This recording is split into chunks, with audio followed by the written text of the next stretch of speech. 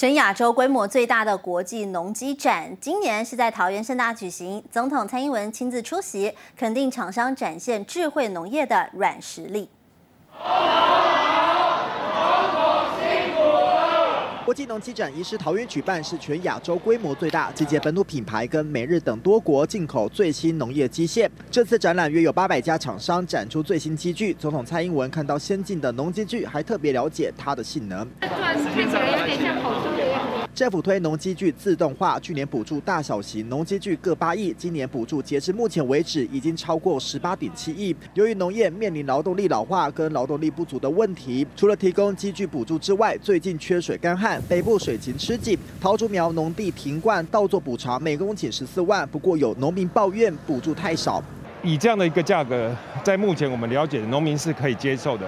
依目前我们了解的，农民对于这个十四万。是可以接受的，因为这十四万已经包含了他的赚款，也包含了他的所有的生产成本。农委会强调，补助金额一定高于农民可以得到的收入。补偿申请作业第一天人数就将近两千人。第一波先针对稻米，预计十月二十三号之前公告其他作物补偿办法。作物的范围哈不限哈，我们只针对停灌好所影响的这个灌区。的里面的作物，我们都会处理。